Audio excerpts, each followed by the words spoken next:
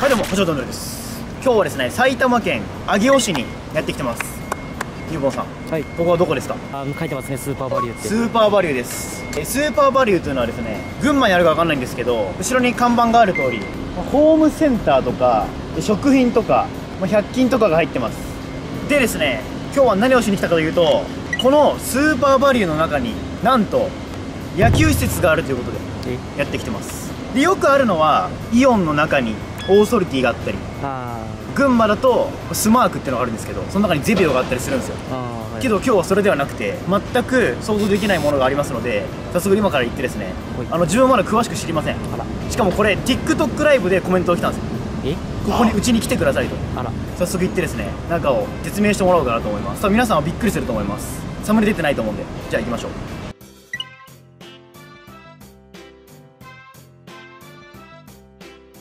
来ました。何これ？ワイズベースボールフィールドさんです。室内？室内練習場ですね。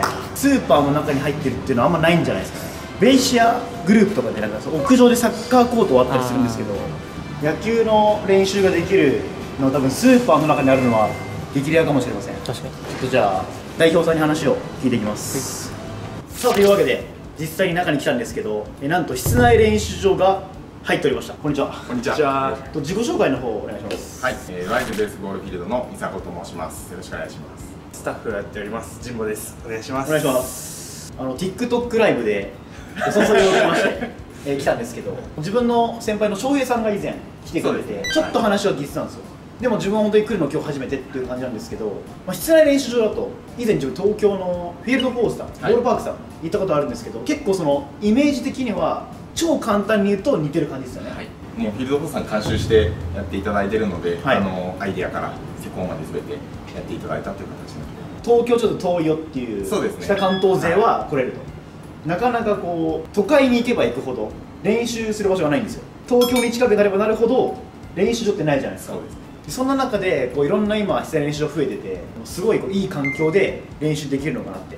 しかも今クーラーがはい。効いてますよねこれ寒い時はやっぱ怪我になっちゃうと思うので、冬場でもピッチングができるっていう形なので、まあ、暑さ熱中症対策であったりだとか、えー寒さでの怪我防止っていったところも十分兼ねてるかなと思います。なるほど。すぐ中を見せていただいて、はい。どんなところかというのをはい。紹介していただきます、おお願いしま願いします。すはいというわけでまず人工芝っていうのがポイントですね。人工芝でネットがめちゃくちゃあると、マップのフロア表っていうのを出します使いたい面積を自分たちで選んでいただいてその練習方法を決めてもらうっていった形の使い方になりますので広さを選んでいただくという形になります。今自分らがいるのが C ってことですよね。はい、今 C エリアここ一つの場所ですね。なるほど。これは、えー今こっちにあるんですけど1エリアから、はい。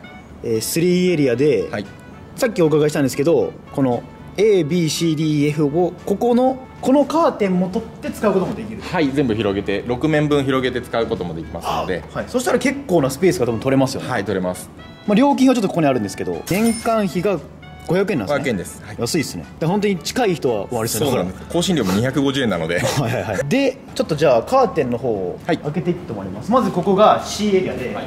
これを開けると ABC になるんです。ねこれで今 ABC の3エリア分になりますね。はい。1レーンになります。このマシンとかは全部込み込みです。込み込みなんですはい。そこ多分結構そうですね。別途料金かからないので、はいはい。ボールとかも全て貸し出しが全部無料になってます。普通多分300円でかかるんですよ。そうですね。あの自分もいろんなとこ使うんですけどかかる。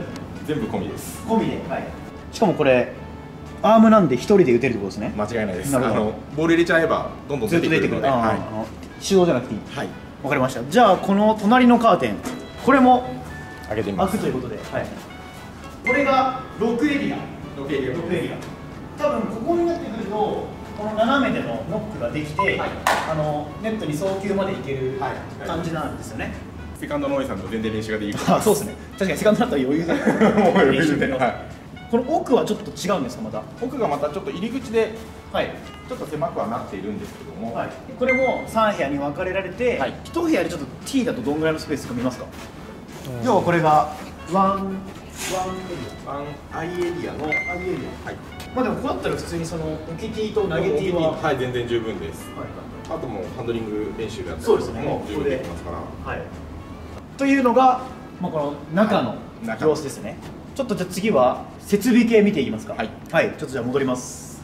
でここ入ってフロントのすぐところなんですけど、まあ、ここが貸し出しエリア。はいということはここにあるものは基本的に全て貸し出しです。おなんかありますか？あの人気のとか。バット系ですよね。バット系？はい。この辺の公式のバットはい。なかなか家になかったりだとかするのでこれはもうスタッフ直樹が中学の頃あ高校の頃はいはい。使ってたバットを何本か持ってきてはいるんですけども V コンがあったりとか。おはいほとんど V コンかな。はい。形のバットの貸し出しと、まあ、もちろんグローブ。お父さんお母さんが持ってなかったり、うん。そういった形なのでグローブの貸し出しもあります。なるほど。あとはこっちですね。これ練習ギア系。そうですね。うち野球を初めてはい。やる子たちまだ間もない子たちっていった子たちも練習ができるような形になっているのでこういった柔らかい穴あきボールだったりだとか、はい。ウレタンボールはい。ういったものを使って練習をしたりだとか面で打つためのテニスボールだったり確か飽きないですねこれだったらはい。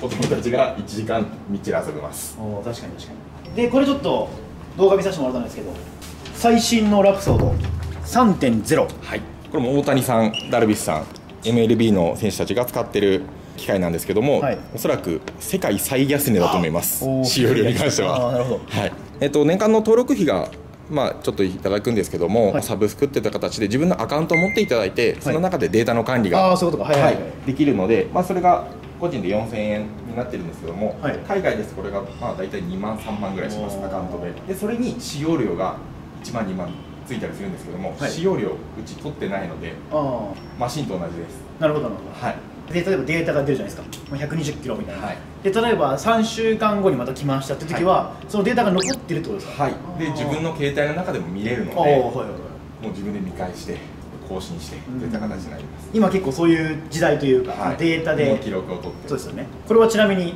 走るおいチャンネルを見たっていうのをはい。言っていただいた場合は何かちょっと得点をつけてほしいんですけど。そうですね。ちな。みにこれはいつも通りのアポなしです。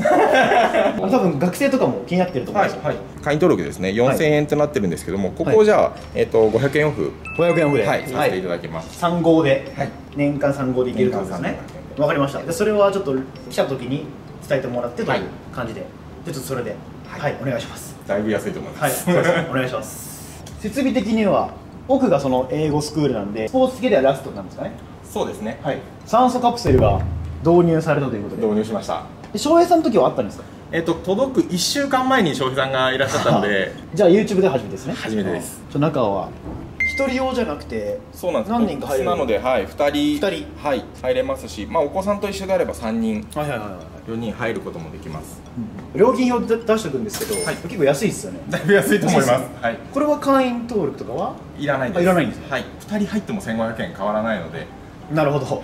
半額で入れるってことですね。はい一人そういうことです。で来たら友達とか、はい。まあ、親子できたら、はい。あの睡眠が本当に変わりますよね。え全然違います。寝起きが、はい。っていう感じで、まあ、そこだけでも多分すごい魅力あるかなと、こはい。ここだけでも魅力あるかに。ないと思います。はい。ちょっとじゃあラプソードをちょっとだけ動かしてもらってはい、でき大丈夫です。何球かデモンストレーションでいきます。緑になったらはい、OK です。おお。早っ。でスローが出るんですかこっちに？はい、もう自動でスロー再生になるので。135.3あの最近ね今週縦振り練習なんでちょっとねバット縦に入ってますね。で、角度と飛距離。回転っていうのは、はい。もう理想というかあるんですか？バッターに関してはないです。あないですねバットにはい関して、は、あの軸に関しては特には意識してもしょうがないので、まあコースどこのコースを打ったとか、あアウトコはい。ース高め、はい、高めを打ってるっていった形なので、うん。まあそれの履歴が出てきたり、はいはいはうちで 3D で。お今の73ですか？73めっちゃ飛んでる。多分そうそ結構飛んでるな。まあでも金属バットなんで今日。よっしゃ。逆方向。いや。116.9アウトロー。これツーストライクからだったらいいバッティングじゃないですか、ね、な。あフェア左中間ですおフェア70ん？何メートルですかこれは？これ78。78メートル。定位置ぐらいです。ねアウトローボール球。アウトローボール球。おおライト前。145.3 145今日1出ました。今日最速。ああいい入り方。角度が14なので、14まああー52メートル。そうすいませんちょっとドライブライナーですね、真ん中ですね。でまあ、これがバレルゾーンというごえー25度から28度に乗っけていくと今の角度は多分、スタンドに行くっていう。えこういうのはアドバイスというかそこまであバッティングに関してはまあこの動画を見ながらもうちょっと、うん、角度を入れてごらんとかそういったことは言えると思いますけども。全然それでいいですね、はい。普通にただ10球何も考えずに打つとまた違います、また違います。以上です。おおセンターへさっきより速いんじゃない？スピード。どうでしょう。あ140.6 そうでもなかったですセンター前ヒット。センターフライがセンター前ヒット。16度だからセンター前ぐらいかな。ああ70ねでも74メートル飛んでる。あー。でもど真ん中ですね。今のがなんかちょっとまあ試合に近いじゃないですけど。ただこうアウターじゃなくてどうだったのかな。結果が出てくるっていうのでね。やっぱり。やっぱ一人でも結果が出るので、はい。やっぱその試合とかなので練習とかでもやっぱ相手がいないとできないことなんですけどもこれはやっぱ一人だけでも全然自分の結果っていうのが出てきます、そうですねこれ多分バッティングの質がかなり上がりますが上がります。これもありがとうございます。データが出てくるので、おおすごい、はい。あ総合のデータが。総合データが出てきますあ総合データ。ははい。い、わすごい。ヒットゾーン出てる。はい。ああなるほど。で、まあ、どこのコースをはい。打ててるよとか。すごいな。なるほどですね。これはぜひあれですね。何回か来てもらってこの昨日よりそうです。1個上みたはいいなのやりたいですね、1球ごとに終えます。おすごい。であの時の良かったなじゃあ見てみようとかっていうのがあー出るので。なるほど、はい、すごいですね。でこれが携帯の自分のアプリの中であ見れるんです。いやそれがあの金額だったら安いですね。安いです、はい。間違いなく。なるほど。ありがとうございます。というわけで本日紹介したワイズベースボールフィールズさんのホームページは概要欄からチェックしてみてください。北関東の方は注目です。というわけで今日の動画は以上です。有流者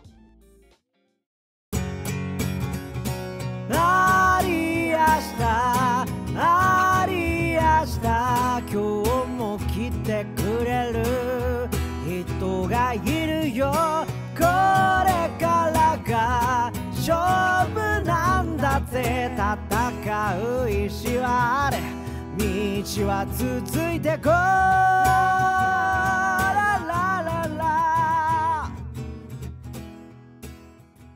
そして今月のプレゼント企画はこちらのウィルソンの軟式内野用グラブを1名様にプレゼントします。こちらは自分が片付けを軽くさせていただきました。草野球でも使えるカラーグラブとなっております。チャンネル登録コメントで応募可能です。たくさんのご応募をお待ちしております。